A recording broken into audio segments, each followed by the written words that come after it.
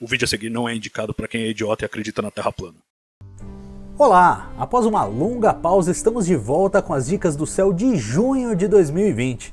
Não é lá um mês muito especial para ver o céu aqui no Brasil, mas vamos lá, né? Neste mês, por alguns minutos, o dia vai virar noite, ou mais precisamente um jeitão de fim de tarde, com ocorrência de mais um eclipse anular do Sol. O fenômeno acontece no dia 21, mas infelizmente durante a madrugada aqui no Brasil. E claro, à noite não veremos o Sol, muito menos o seu eclipse. Mas o espetáculo será visível a quem estiver adiante do lado de lá do mundo, onde o Sol já nasceu. Pode incluir aí nessa lista África, Europa, Ásia e Oceania. Praticamente só as Américas ficaram de fora.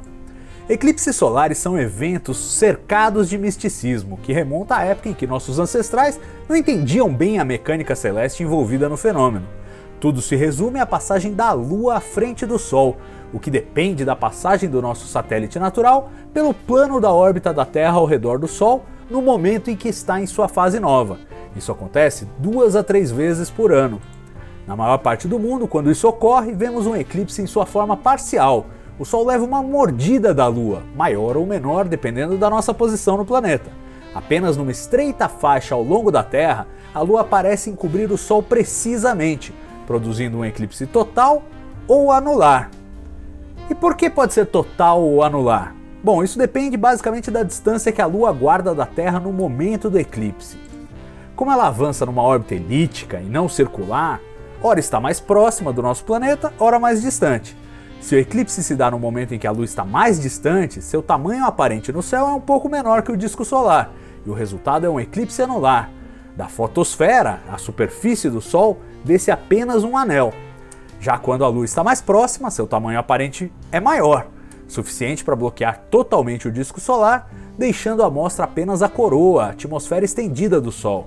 Esta, por sinal, será a situação em dezembro deste ano, quando teremos um eclipse solar total e aí visível da América do Sul.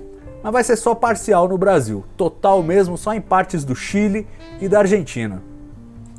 Tudo isso para dizer que o maior espetáculo do mês os brasileiros terão de acompanhar de longe, pela internet. E acaba que não resta muita coisa além disso. Vale apenas ficar de olho no cometa 2P Encke. Trata-se de um astro de curto período que completa uma órbita ao redor do Sol a cada 3 anos e um quebradinho.